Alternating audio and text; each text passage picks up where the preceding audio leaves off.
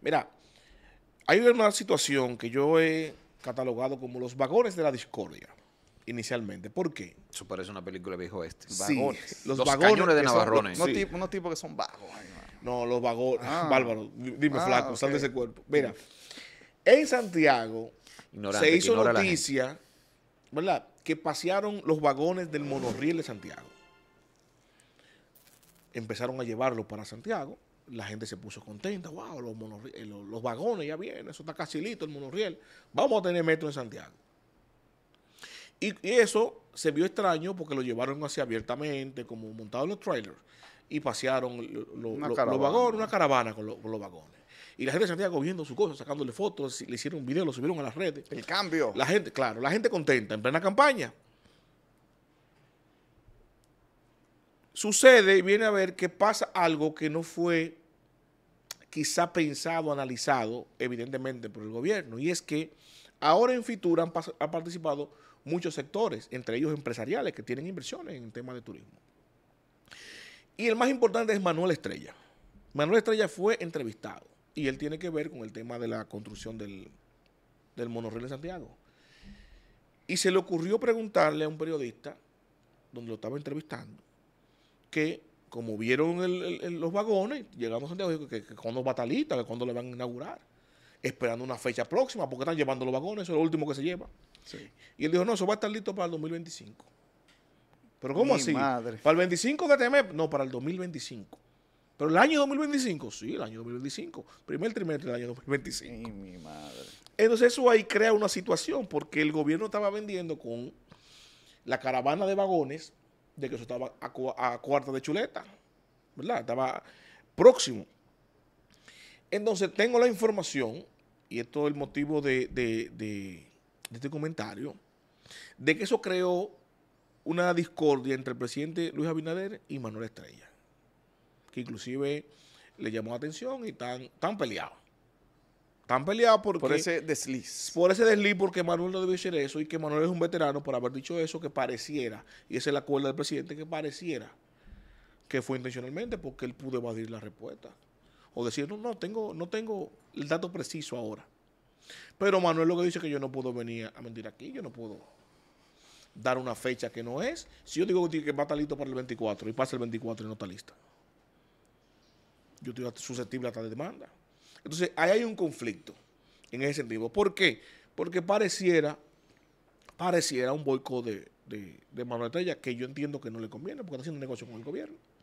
Pareciera que Manuel se le viró al presidente, que viene y suelta esa perla en medio de una entrevista cuando la estrategia comunicacional evidente de pasear los vagones por todo Santiago era que quedara la impresión en medio de la campaña de que se está resolviendo en Santiago.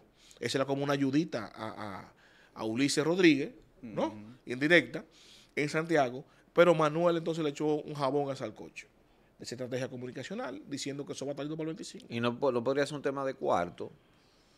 Hay ¿Cómo unos para presionar? o sea, unos cuartos que De cuarto adelante, para nosotros sacar el Mi- 24. Mi, cuarto adelante, porque al final del día, Manuel Estrella, sí, gobierno, es parte de ese grupo de Santiago que uno sabe que es poderoso, muy poderoso, eh, pero empresario. No, y además esos pagos ya desde ahora, señores, estos empresarios van a estar exigiéndole al gobierno los pagos antes de las elecciones y más como las cosas se están pintando porque ya no es como hace un año que el, el PRM estaba ganado.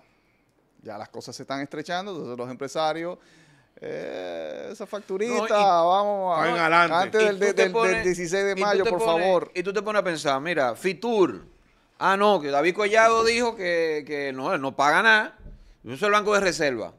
Ah, el Banco de Reserva está pagando. Mierda, tiene cuarto el Banco de Reserva.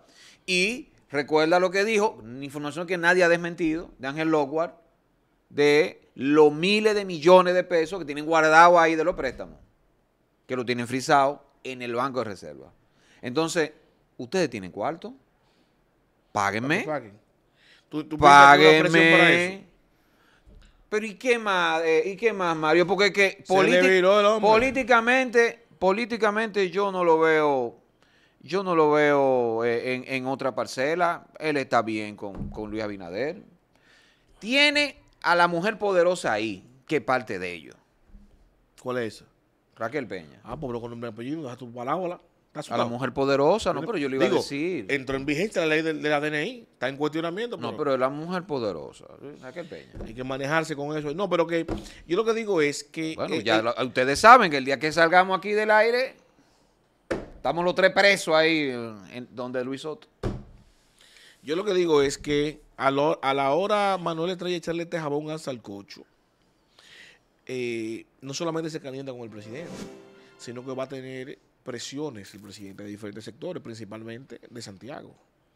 Porque esto beneficiaba al candidato de Santiago en un momento donde Santiago tiene una debilidad con un candidato a senador que se ha etiquetado como uno de los peores funcionarios que tiene Luis, que es el ministro de Salud.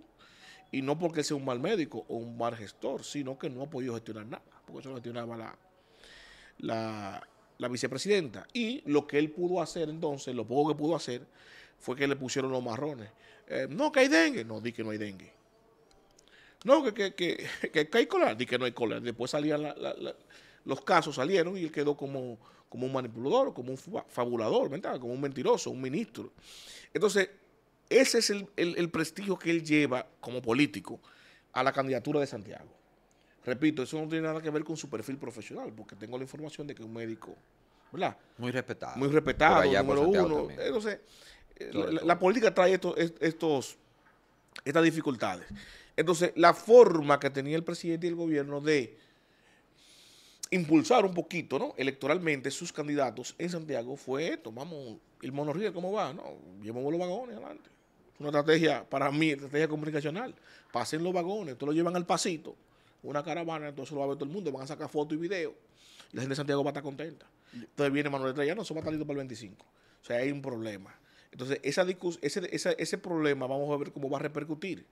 Porque ya Manuel Estrella hizo eso en Santiago. Pero ¿quién está encargado aquí de, lo- de la reconstrucción del, del- del túnel?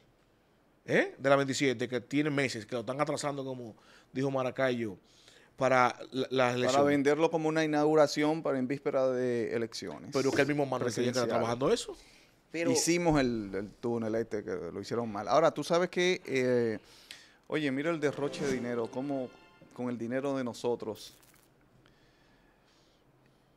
Supon- imagínate tú la presión que el gobierno le está haciendo a esos proveedores de los vagones para que le entregaran esos vagones ahora. ¿Qué significa eso? Que, ok, se lo entregaron, ¿verdad? Ah, ustedes lo quieren ahora, ¿no? se lo entregaron. Eso necesita un mantenimiento. Si es verdad que, si es como dice Manuel Estrella, que falta un año y pico para que eso empiece a funcionar, esos vagones hay que almacenarlos aquí, darle mantenimiento, eso tiene un maldito costo. Esa vaina un año y medio parado ahí, se puede dañar si no le dan el mantenimiento requerido. O sea, miren todo el dinero que van a gastar. Eh, por eso, solamente porque el presidente quiso darle una ayudita a su candidato de Santiago. Por Dios. para que tú veas. Es- Eso es cosa ¿no? con, con- con- vamos, tenemos que hacer lo que sea necesario y cueste lo que cueste para ganarle a la oposición en esta elección. y pensando así, Mario, hablaste de que se le viró y puede tener asidero, pero yo creo que hay un elemento que, pues, que es importante ¿Cuál? y que quizás haya cambiado en caso de que no sea coalto el asunto, porque tu hipótesis que uno maneja también. Sí. ¿Y si es Miguel Gutiérrez el problema? ¿Y si Miguel Gutiérrez ha, ha de- desatado todo un lío a lo interno de los corrillos políticos y empresariales en Santiago y de repente entiende Manuel Estrella que no le conviene Ulises Rodríguez y que le conviene Fadul entonces? Fadul, que siga, que siga, bueno. Ah, no, mira, tú sabes que ahí tú tienes un punto. Porque Fadul representa la continuidad de la gestión de Abel, que ya tiene dos periodos, que ya tiene negocios con muchos sectores empresariales en Santiago. Eso es cierto. Por ahí podría ser, pero ¿tú crees que eso es más importante que mantener buena relación con el gobierno? Pero es, que, pero es lo que yo digo, Mario. Estos empresarios saben muy bien que sus negocios siguen en el tiempo y que los presidentes van y vienen.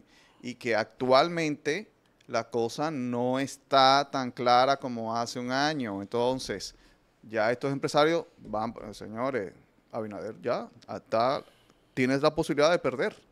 No podemos entonces seguir con todo el apoyo contra la vaina Yo, porque yo no sé si de perder, pero ya hay una posibilidad de segunda vuelta. Sí. sí, la posibilidad está más No, clara. no, pero ahora. segunda vuelta es, es perder en primera vuelta. Porque, porque el- la No, no, dificultad- claro, no, pero- La dificultad la tiene el, pre- el No, presidente. ya en segunda vuelta, si uno, en no. segunda vuelta uno no puede decir seguro va a perder. En segunda puede pasar cualquier cosa, que eso es lo que lo, lo que Sí, sí, pone los empresarios empiezan a asegurarse lo que pone a peligrarlo. Pone a Empiezan peligrar sus aspiraciones. Sí, no, pero que ese es el temor, óyeme, si, si un presidente, por ejemplo, se supone que un presidente cuando lo hace bien y cuando tiene toda la cantidad del mundo, o sea, es evidente que se va a reelegir. O sea, yo no, yo no, yo no vi un momento en que, por ejemplo, en, en, en el 16 y, y, eh, Danilo tuviera esa dificultad. O sea, aquí lo, lo, lo- no había nada más seguro que la reelección de Danilo en el 16. Entonces, la de Luis estaba bollante hace un año y medio. Entonces, mira ahora cómo va. Yo decía hace un año, señores, no podemos ser tan tajantes con las encuestas porque las encuestas son una fotografía del momento. En el 2019, nadie preve- preveía que el PLD iba a perder en el 20. ¿Tú me entiendes? O sea, ¿quién decía eso en el 2018-2019? Que el PLD iba a perder. Nadie. Sin embargo, perdió. Ganó el PRM. Nadie decía que el PRM iba a ganar en el 20. O sea, yo aventurarme ahora a decir en el 23, no, lo iba a ganar, va a barrer en primera vuelta. Es muy aventurado porque pueden pasar muchas cosas. Mira ahora cómo están las cosas, mira cómo están perfilando lo- los empresarios. Fíjate que hay dificultad. Ya las encuestas están dando un escenario de segunda vuelta. Real, ahora. Y un escenario de segunda vuelta lo que refleja es una debilidad del presidente y una fortaleza de la oposición porque el presidente está en su gobierno, y una, y una posibilidad de que el pueblo no lo reelige en primera vuelta, es una descalificación a su gestión de gobierno. No, y sumarle que aquí nunca ha habido segunda vuelta. Y si la va a inaugurar Luis No, que- que, Abinader, no ha habido nunca, que hay muchos años que no hay, no que nunca ha habido. Recuerdan que en el aquí 96 ha hubo- habido, aquí ha habido- Claro, en el 96. Bueno, El no, 96 fue la es única la, vez. La, primera sí, y la única, única vez. Podí- Sí, la primera y única vez. Después de eso, el dominicano como que no, no, no es que no le gusta, es que no se ha presentado una tercera fuerza con suficiente poder como para dividir la cosa. Eh, ahora, finalmente, no es la primera vez que Manuel Estrella, en caso de que sea cierto y que lo habla y que sea, y que sea como el análisis eh, fino de, Mario Herrera eh, va, va por ahí, lo indica, que el señor Manuel Estrella mm, eh, se la pone difícil a Abinader. Recuerde que muy al principio de su gobierno, él fue a la casa de Manuel Estrella. Él fue a la casa a enfriarse con Manuel Estrella, porque no habían comenzado en buenos términos. Eso es así. O sea que no, no, es, no es de sorprender, no, no es para nada descabellado. Esta es la quinta pata, Mario Herrera, José Maracayo, Edwin Cruz. Recuerden suscribirse, darle me gusta para seguir creciendo, compartir y comentar sobre todo.